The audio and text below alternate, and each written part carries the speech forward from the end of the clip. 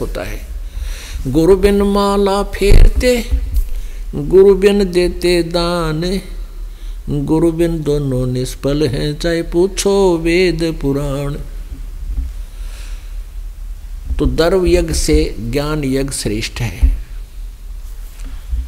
उस ज्ञान यज्ञ को समझ कर तू फिर क्या बताया चौथे अध्याय के बत्तीसवें श्लोक में कि जो 25 से लेकर इकतीस तीस तक जो ज्ञान दिया है जिसमें धार्मिक अनुष्ठानों का ज़िक्र किया है, इस प्रकार की जो साधनाएँ हैं, वो उस सचिदानंद घन ब्रह्म की वाणी में विस्तार से कही गई है। देखिएगा। श्रीमद् भगवत गीता, इसके वही चौथे अध्याय का, ये देखिएगा, बत्तीसवा श्लोक। यहाँ जो गड़बड़ी इन्होंने की है, ये दिखानी अनिवार्य है। ये चौथा अध्याय है और ये बत्तीसवा श्लोक है। ये इसमें ब्रह्मण मुखे शब्द है, ब्रह्मण मुखे।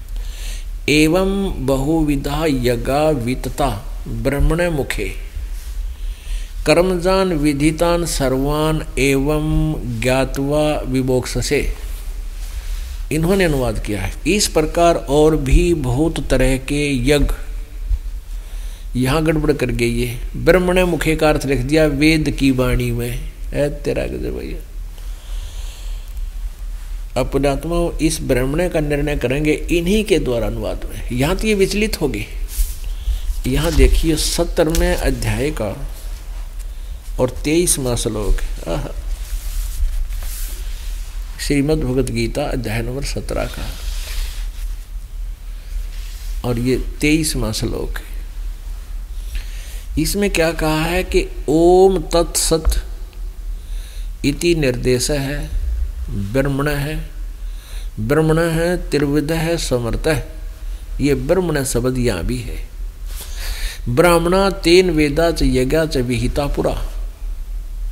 ब्राह्मणा माने विद्वान, पुरुष, समझदार व्यक्ति, सृष्टि की आदि में। तेन वेदा इसी ज्ञान के आधार से अपने धार्मिक अनुष्ठान किया करते थे। यहाँ क्या लिखा है? इन्होंने अनुवाद किया है कि ओम तत्सत। ऐसे तीन प्रकार का ब्रह्मण यहाँ ब्रह्मण का अर्थ लिखा है सचिदानंद घन ब्रह्म का। बिल्कुल सही अनुवाद किया है। अब ब्रह्मण है भगवान। और ब्रह्मण का अर्थ वेद नहीं हो सकता। वेद है भगवान का विधान, जैसे एक राजा राजा का विधान।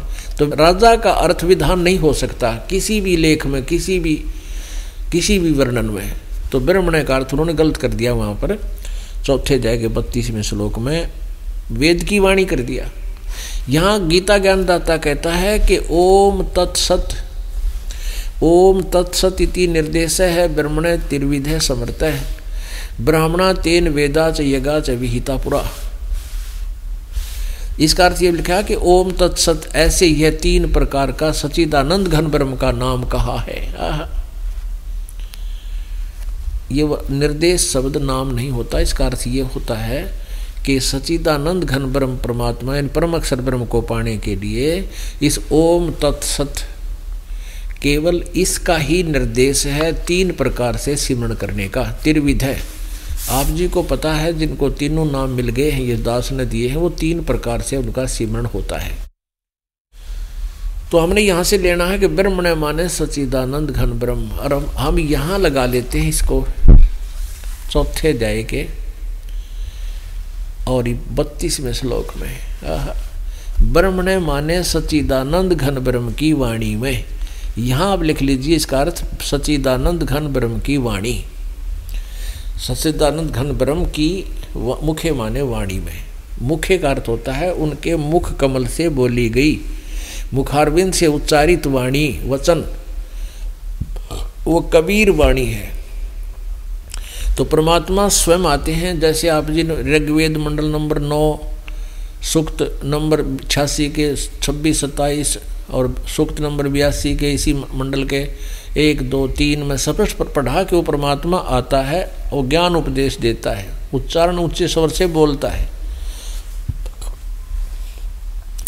तो वो उसमें ज्ञान कंप्लीट है।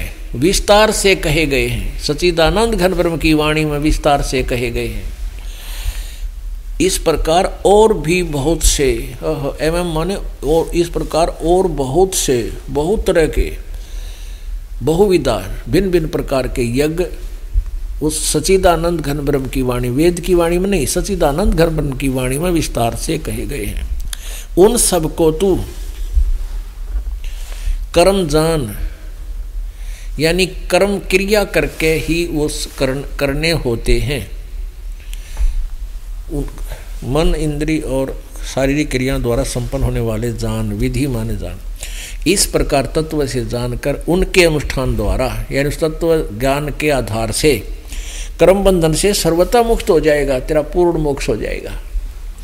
अब तैतीस में ये बताया है कि अर्जुन, सरे, सरियान द्रव्य, द्रमयात, द्रव्यमयात यगात, ज्ञान यज्ञ परंतम हे परंतम अर्जुन, इस द्रव्य से होने वाले अनुष्ठान, जैसे कि दान कर दिया, कि कोई धार्मिक स्ट्रक्चर बनवा दिया, इससे सरियान ज्ञान यज्ञ द्रवा द्रव्यात यगात। इस द्रव्य में यज्ञ से श्रेयान, कौन सी श्रेष्ठ है? ज्ञान यज्ञ सर्वम कर्म अखिलम पार्थ, ज्ञाने प्री समाप्यते। यानी उस ज्ञान कर्म में फिर सारे भ्रमणा भटकना रूपी जो कर्म हम करते हैं, ये सब समाप्त हो जाते हैं। फिर डले नहीं डोता प्राणी। परंतम, हे परंतम अर्जुन, द्रव्य में यज्ञ की अपेक्षा, ज्ञान यज्ञ, यानी सचिदानंद घन ब्रह्म की वाणी में जो विस्तार से ज्ञान का है, वो अत्यंत श्रेष्ठ है। तथा यावन मात्र, यानी यावन मात्र सभी पूर्ण रूप से कर्म ज्ञान में समाप्त हो जाते हैं। यानी जो क्रिया हम करते हैं, फिर वो डड़े नहीं डोलते हम अपने वही काम करते हैं जो विधिवत होते हैं। इसका अर्थ है। अब चौंतीस में कहा कि उस तत्व ज्ञान को जो सचिदानंद घन ब्रह्म की वाणी में लिखा गया है, जो गीता ज्ञान से अलग है। उस ज्ञान को तू तत्वदर्शी ज्ञानियों के पास जाकर समझ। उन, उनको भली भांति दंडवत प्रणाम करने से उनकी सेवा करने से और कपट छोड़कर सरलता पूर्वक प्रसन्न करने से वे परमात्म तत्व को भली भांति जानने वाले ज्ञानी महात्मा तुझे तत्व ज्ञान का उपदेश करेंगे। पुणात्मा ये वही पवित्र सदग्रंथ है जिसको हम श्रोधार्य मानते रहे हैं और मानते हैं।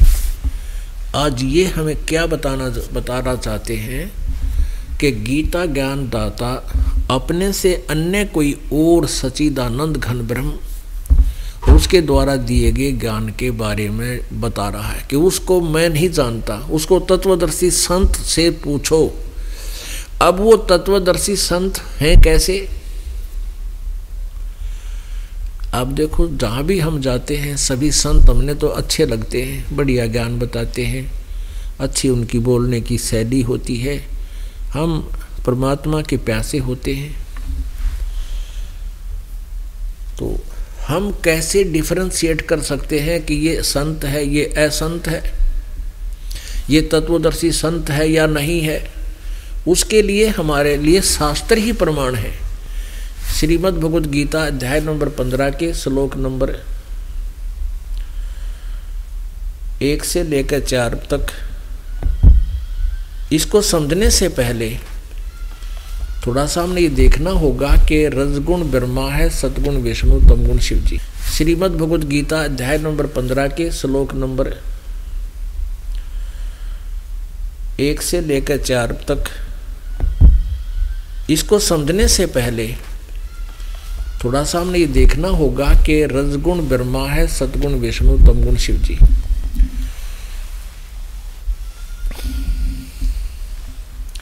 तो इसके लिए भी हम सदग्रंथों का सहयोग लेंगे। ये पवित्र श्री मद देवी भागवत। इसमें संस्कृत भी साथ है। सबसे बड़ा हमें लाभ ये हो रहा है कि अभी तक परमात्मा की दया से सदग्रंथ जीवित हैं।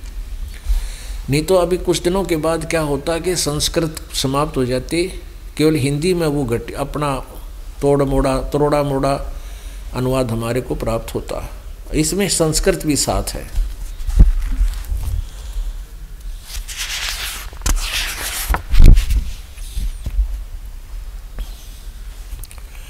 अथ देवी भागवतम।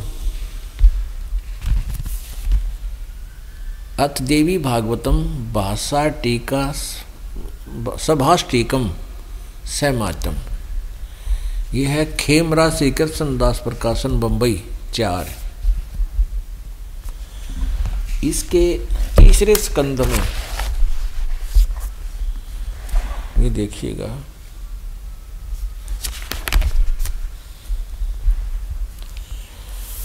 श्रीमद देवी भागवते भाषा टीका युक्ते तृतीय स्कंध प्रारंभते और इसमें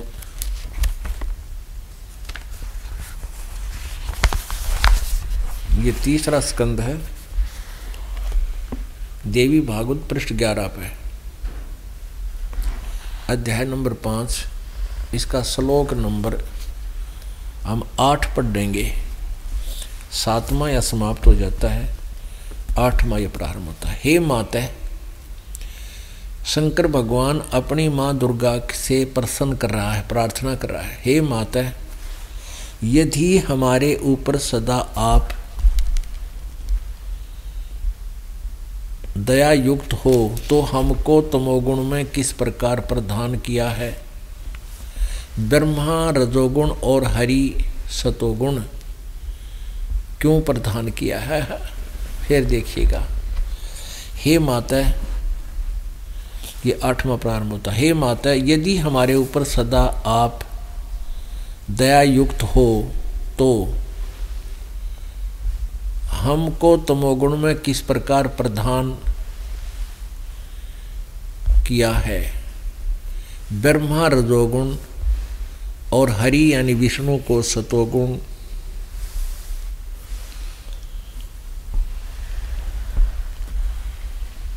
युक्त क्यों किए हैं?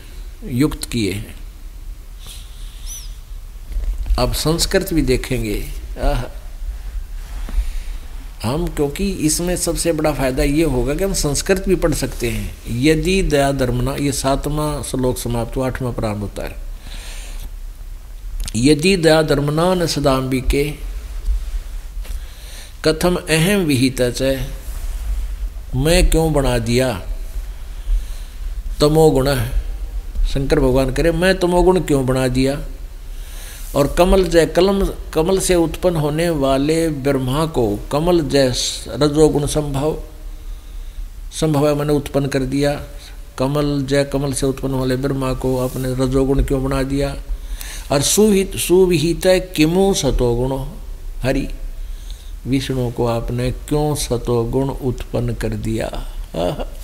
इति सिद्धम रजगुण ब्रह्मा है, सदगुण विष्णु तमगुण शिव जी अब हम आते हैं इस पवित्र सदग्रंथ श्रीमद् भगवत गीता जी को, अध्याय नंबर पंद्रह का श्लोक नंबर एक से लेकर चार तक को विस्तार से पढ़ेंगे। पुण्यात्माओं, हम पहले गीता जी के प्रतिदिन नित पाठ किया करते थे, रुचि बढ़ती थी, प्रतिदिन करते थे। अन्यों, ये पता नहीं था इसमें व्याख्या की है। अरीब वही सदग्रंथ आपके समक्ष विद जो ना सोल्यूशन अनुवाद के साथ आपको पढ़ाया जा रहा है, लाभ तो वही होगा जो पहले समझते थे। ज्ञान यज्ञ का लाभ तो है, पर यथार्थ ज्ञान होगा अब। पहले ज्ञान था को नहीं, और पढ़ते पढ़ते थे।